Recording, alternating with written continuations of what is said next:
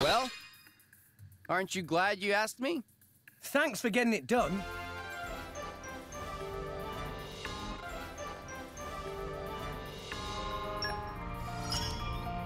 Everyone's looking to me. Have to do well. The arts move through me. Hardly a challenge for me. Thanks for getting it done.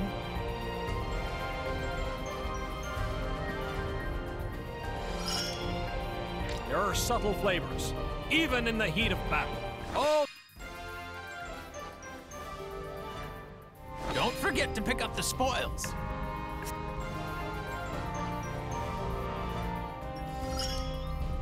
Learning feels good. Und damit heiße ich euch willkommen zurück zu Let's Play Xenoblade Chronicles 2. So, nachdem die Söldnermissionen vorbei sind, schicken wir Godfrey nochmal auf die Reise, weil eine seiner weiteren äh, Übungsaufgaben hiermit äh, verbunden sind. Und äh, ja, ich stelle das Team zusammen. Bis gleich. So, das muss reichen. Godfrey, raus mit dir, du wilder Hengst. Mal sehen, wie lange wir warten müssen, bis du bis deine Erhabenheit wieder zurückkommt. Ja, 14 Minuten. Das kriegen wir soweit hin. So, wir sind nach ähm, Alba Kavanitsch, der Hauptstadt und der einzigen Stadt von Mont Ardain gekommen und reden jetzt mit ein paar Leutchen hier. Moi Moi überrascht Freunde an Ort wie diesen zu treffen, ist riesengroßer Zufall. Ja. Moi Moi empfiehlt Aufenthalt in Jacolos Gasthaus. Moi Moi selbst Stammgast dort, liegt im Gewerbegebiet Bera. Falsche Quellen dort sind auch toll, falls Freunde kleine Auszeit nehmen wollen. Moi Moi wird guten Preis für Freunde aushandeln, ist auf jeden Fall Besuch wert. Und das ist ja auch Nola. Ja. Hallo, wie läuft's? Oh, was für hübsche Klingen ihr habt. Aber nach allem, was man so hört, können selbst die schnuckeligsten Meister und Klingenhart austeilen. Werfen ihre Gegner erst um, nur um sie anschließend durch die Luft zu schleudern und schmettern sie dann ungespitzt in den Boden, so wie man es sonst nur von uranischen Wüstlingen kennt. Wie barbarisch. Kämpfer sollten eine gewisse Finesse besitzen, so wie Sonderkommissarin Murak. Ach, ich würde, was würde ich dafür geben, mit ihr zusammen ein Tässchen Tee zu trinken? Nackt in der Badewanne. Wir haben hier I, I, I feel. I feel you auch.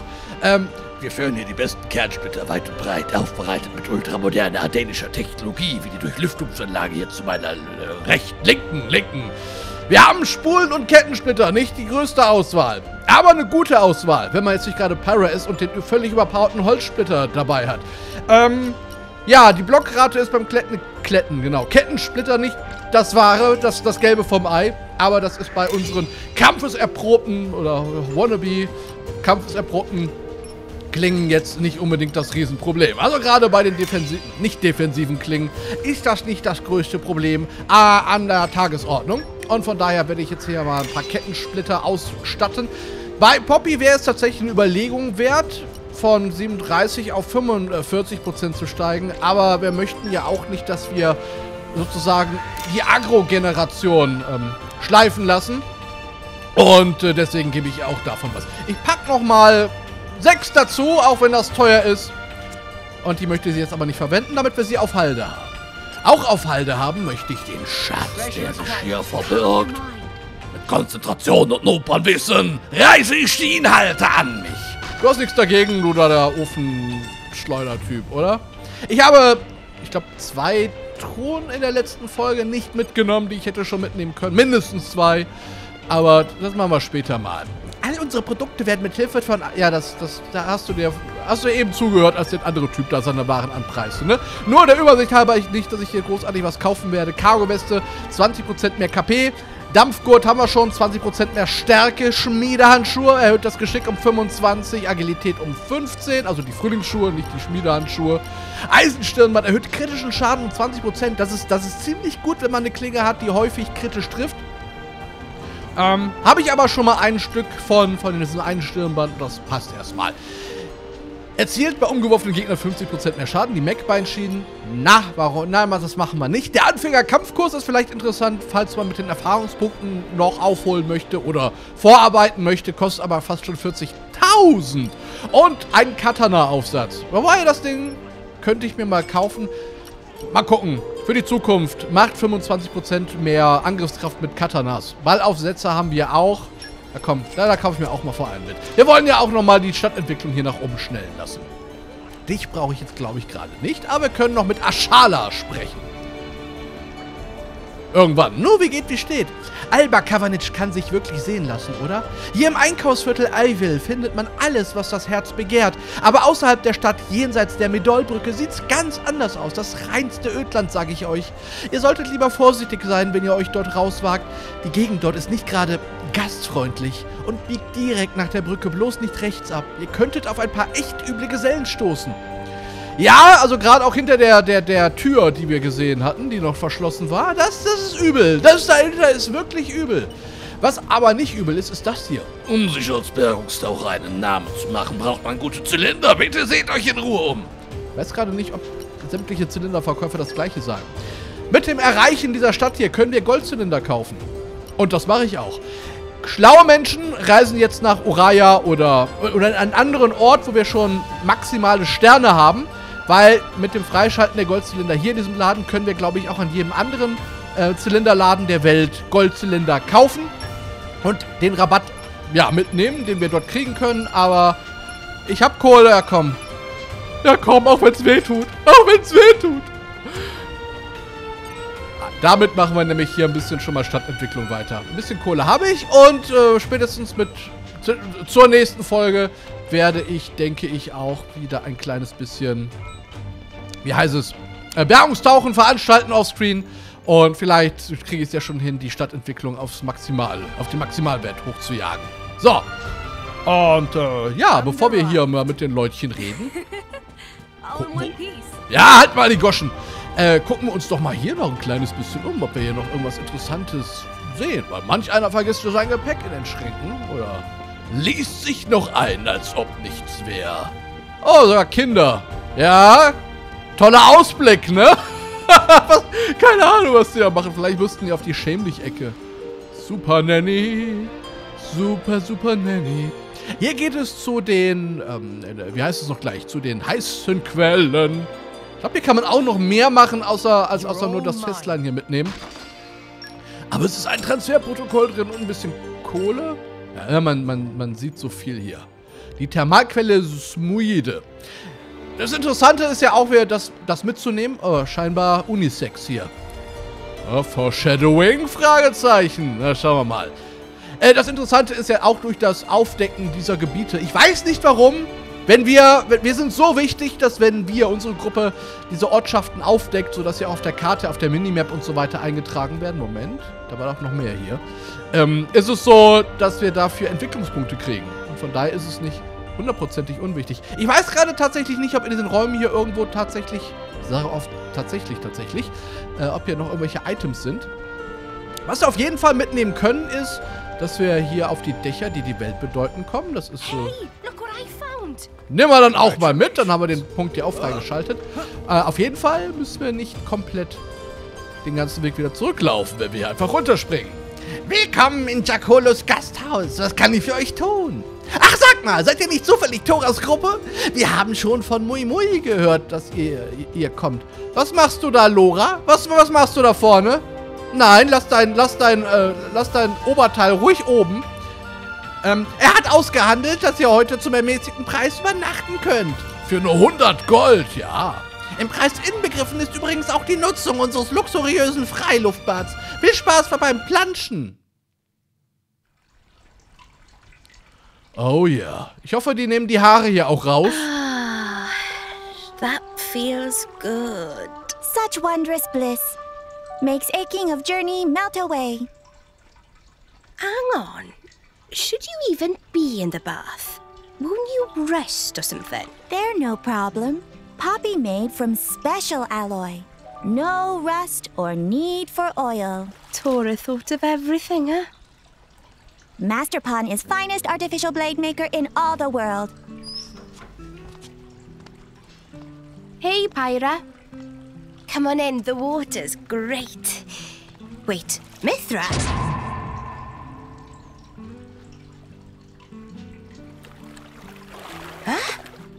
Is there a problem? I I guess not. But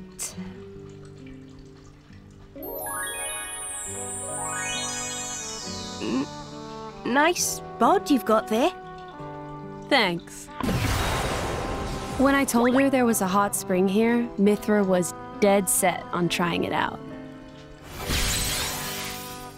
So, here I am. Must be interesting for you guys.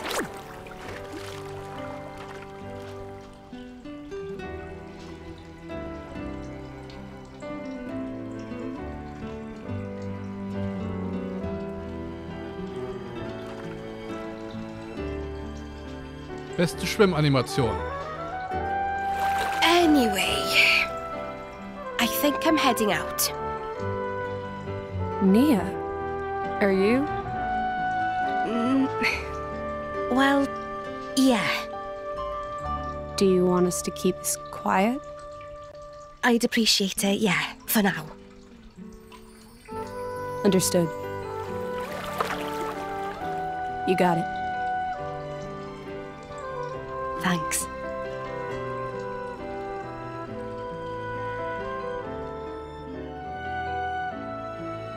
Whew, that was a good bath. Mithra seemed very pleased.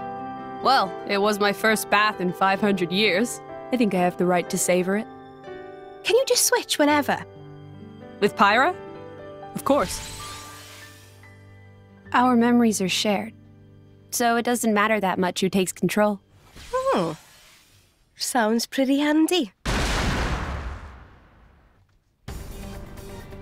Hey, what the hell was that? I cannot say. It sounds like some kind of disturbance. Let's find out. Come on. Oh. What's that look for? Oh, I was just surprised to see you. You'd rather I was her? I, I didn't mean it like that.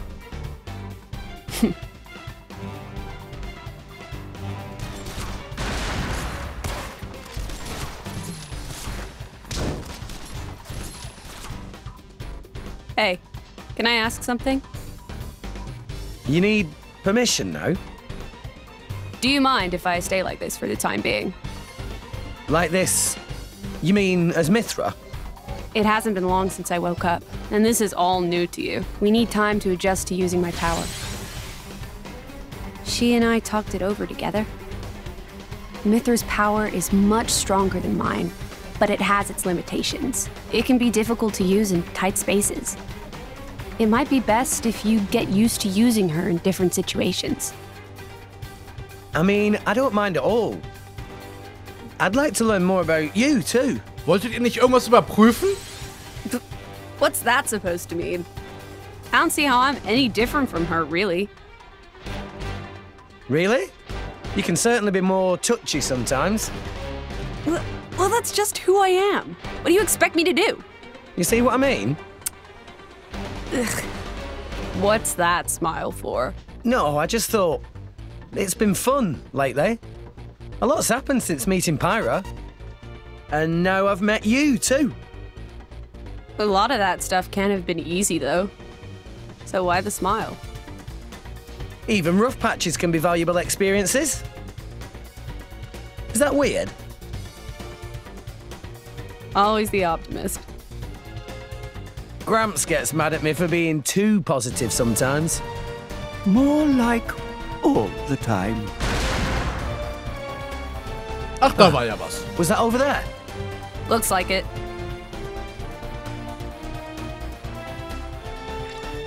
Damit haben wir nun endlich Mithra zu unserer mehr oder wenigen freien Verfügung. Dafür ist Pyra bis auf weiteres erst einmal ausgesperrt und ich weiß nicht ganz genau, ob ihre Skillchecks damit auch ausgesperrt sind.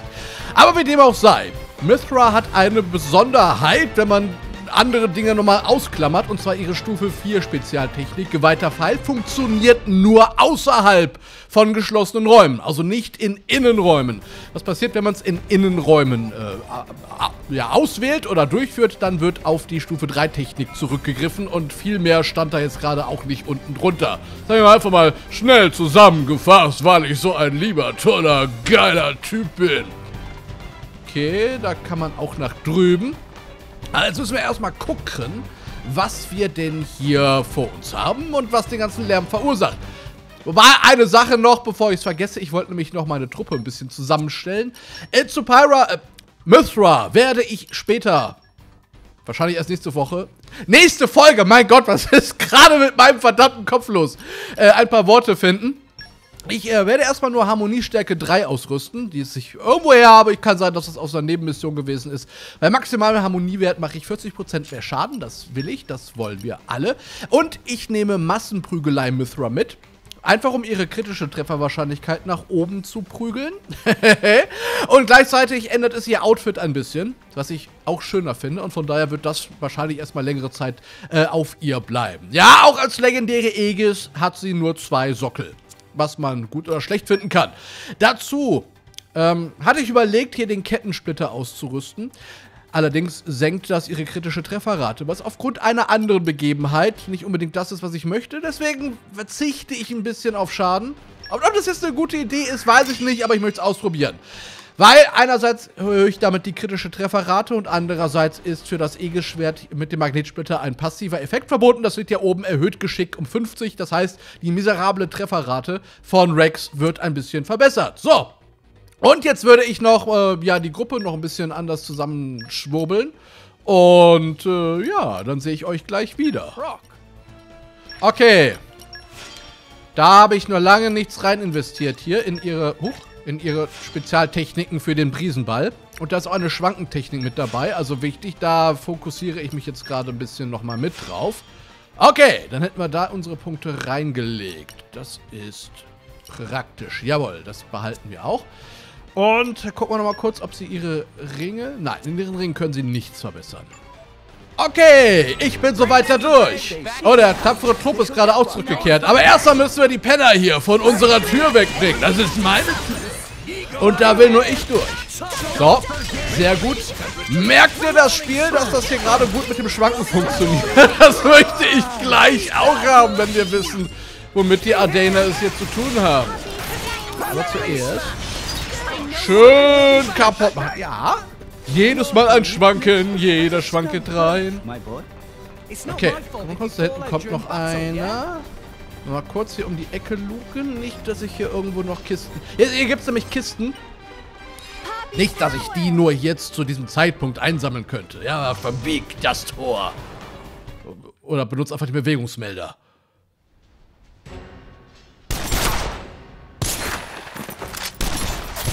Der Schrecken, der die Nacht durchflattert.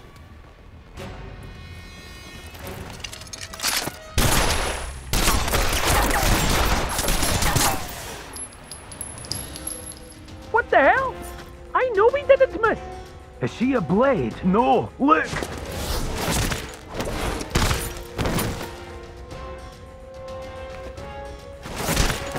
Huh. That body's mechanical.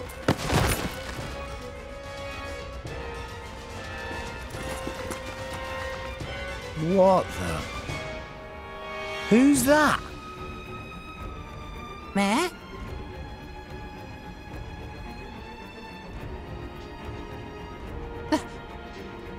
Lila?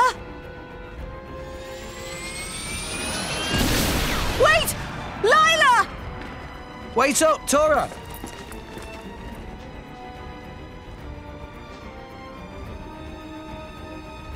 Nicht auffällig. Nu da! Wie jeder gute Anime-Bösewicht. Hinterher, Hoppi, zack! Hinterher, Hoppi, zack! Gab's doch mal einen Sommerhit, der so hieß, Laila. Egal, da hinten kommt Dampf aus dem Schlotstein. Was ist ein Schlotstein? Ich habe keine Ahnung. Äh, auf jeden Fall kommt hier auch Dampf aus dem Schlotstein. Wir müssen auf der anderen Seite müssen wir vorbei. Oh, oh der, der passt aber gut auf. So, nur mit Hilfe dieses Ventils kommen wir dazu, das auszumachen, auch auf der anderen Seite. Also komplett. Ein Ventil für alles. So, zumindest an die Kiste konnten wir noch dran erinnern. Yay! Okay. Der ist auch auf Seite. Und das ist der Grund, weswegen ich zuerst hier lang gelaufen bin. Jetzt müssen wir aber den Kirper entkernen. Moment. Gleich kommt. Äh, ich habe meinen Leuten noch was zu essen gegeben. In ihre ganzen Tüten, die wir denn zur Verfügung haben. Ausgezeichnet. Da kommen schon ein paar Krits raus. Achso, das habe ich euch gar nicht... gesagt, gezeigt. Gesagt, aber nicht gezeigt. Und zwar, Rex hat ja ein Item äh, ausgerüstet. Das kann ich jetzt aber eben noch mal ganz kurz machen, wenn ich die Menüs hinkriege. Und zwar die klassische Medaille, die bei kritischen Treffern 12% seiner Lebens... Ich weiß gar nicht genau was. Ich glaube vom Schaden. 5% des angerichteten Schadens äh, an Lebenspunkten wiederherstellen. Warten bitte! Aber Laila ist niemand, die sich bitten lässt. Und der da hinten läuft nur Gassi. Der achtet nur drauf, dass sein Köter nie irgendwo hinkackt. Tora wird ignoriert, dann muss Tora hinterher! Ja, das ist die beste Sequenz, die Xenoblade Chronicles 2 zu bieten hat, dass man hier die ganze Zeit auf den Dächern rumläuft und irgendeiner hopsenden Froschfrau hinterherläuft. Oh, oh, der hat einen seltenen Kernkristall gedroppt. Das ist ja mal äh, formidabel. Richtig, richtig gut. So, ich habe irgendwie im Urin, dass es hier auch irgendwo eine Kiste gegeben hat, aber ich weiß gerade zum Verrecken nicht, wo zum Teufel die sein soll. Deswegen lassen wir es einfach mal da. Vielleicht habe ich einfach nur gelabert, damit die Leute sich hier ein bisschen auseinanderpflügen. Und wir einfach mal hinten vorbeikommen an den großen Platz. Warten! Warum hat sie Straßen auf ihrem Kleid? Oder das soll eine Naht sein? Aber sie hüpft einfach weiter. Meister Pon. Tora darf nicht aus Augen verlieren. Bitte, Poppy auch verfolgen. Bitte so schnell wie kann hinterherrennen. Reden, gleichzeitig laufen. Der Herdentrieb holt uns schon wieder ein. Moment. Die Olle ist, glaube ich... Ich bin an einem vorbeigesprungen, wo mein Leben noch Wert hatte. Äh, da vorne ist doch was. Komme ich da? Hurz! Hi! Willkommen auf dem Narrelplatz, ihr kleinen Schnuckels. Okay, das ist, das, ist, das merken wir uns. Okay, da, da oben hätte ich noch labern können. Da vorne gibt es eine Quest. Auch, auch nett. Auch nett. Wir haben keine Zeit zum Labern. Ich komme später wieder, Opa. Oh, not here! Where did she go? Tora, wait. Did you know that girl? She seemed somehow similar to Poppy. It was Lila, Lila? the artificial blade Tora's Dadapon and Grampypon were making. Tora recognized her anywhere. Master Pon, they're an ether furnace reading nearby. Up there. Lila, it is you. Ether furnace reading detected. Initiating protocol. Okay, erst weglaufen und jetzt angreifen wollen.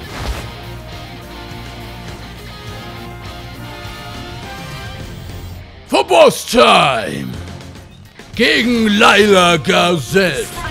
Die erscheint aber zu rosten, weil sie ist empfindlich gegenüber Wasserangriffen. Da bin ich ja mit den besten Klingen ever ausgestattet derzeit. Natürlich der Krall.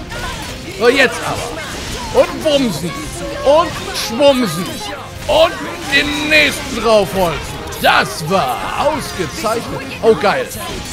Schwanken und Feuerzeug. Dann machen wir erstmal da ein bisschen was, dann haue ich noch ein bisschen an Umweltgift dazu. Oder Lichtverschmutzung, besser gesagt. Okay. Der einzige Nachteil ist, äh, dass äh, glaube ich, nicht ganz nein, nein, nein, jetzt ist sie uns unbesiegbar. Das, das ist natürlich blöd. Kann mir wahrscheinlich gar nicht dazu, äh, die äh, Kette abzuschließen, weil Tora nicht in der Lage ist, so schnell sein Zeugs aufzubauen. Aber hey, was soll's. Vielleicht kommt ja noch was. Vielleicht kommt noch was. Da hat, er hat ja schon wieder zwei Dingers.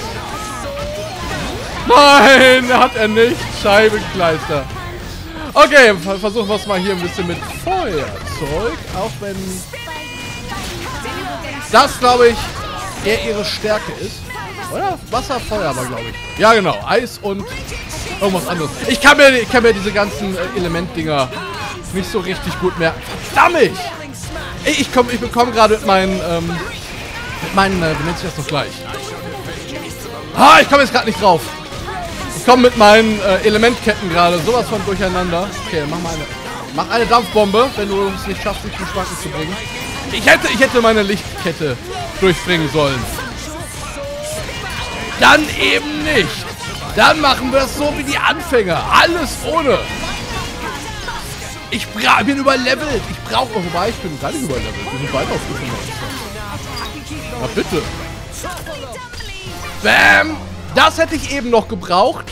Aber ich habe irgendwie in diesem Spiel kein Glück mit Schwanken. Der, der Rest war, war Selbstidiotie. Das war... Ich hoffe, ich kriege das im Rahmen des Let's Plays noch hin, noch mal einen gescheiten Bosskampf abzuliefern.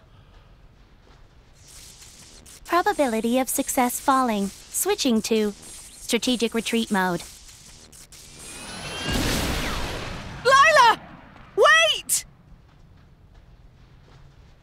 Auf, auf und davon! Das, das sind Kisten, da könnt ihr hochklettern. Oder, oder ihr geht einfach den ganz weiten Weg außen rum. Weil Poppy schon wieder vergessen hat, dass sie auch... Oh, eine Kiste. Na, der, leider ist unwichtig. Äh, weil Poppy schon wieder vergessen hat, dass sie auch fliegen kann. Aber vielleicht sind die Gaspreise derzeitig... Hallo, schwarzes Brett, wir sehen uns später wieder. Aber vielleicht sind die Gaspreise auch so astronomisch in die Höhe gestiegen in dieser Spielwelt, dass sie sagt, nee, nee, da lieber ein bisschen mehr Muskelkraft. Ich habe schon, hab schon über 200.000 Euro ausgegeben in dieser Episode. Das muss nicht sein. Auf dieser Treppe, äh, Brücke wird es bestimmt nicht zu einer großen Schlacht kommen.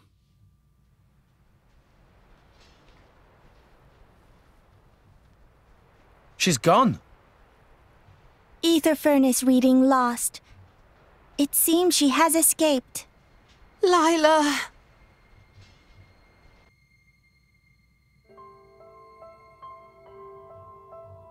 Long time ago, Grampypon Susu and Dadapon Tatazo were working on her.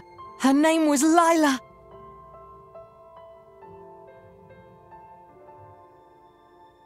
Grampypon and Dadapon and Tora all wanted to become driver. However, not single one of us have potential. So, we decide to work together and make artificial blade. Blade even we can use. But then...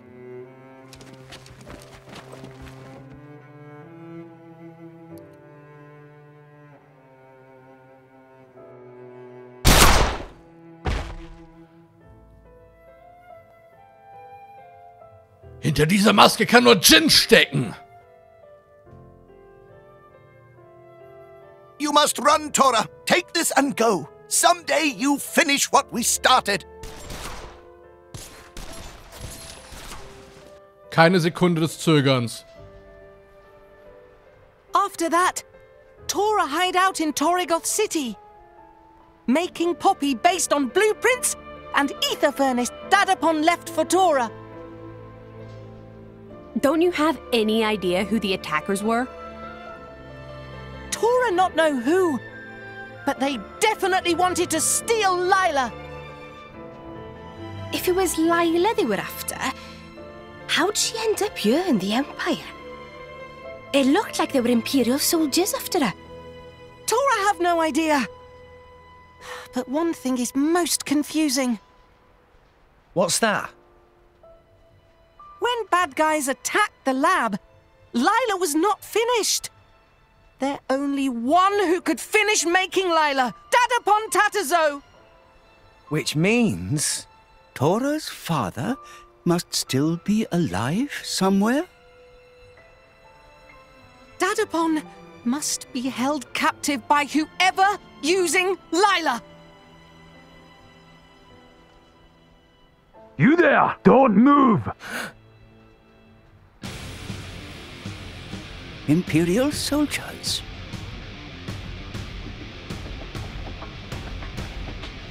You! So we meet again, driver of the Aegis.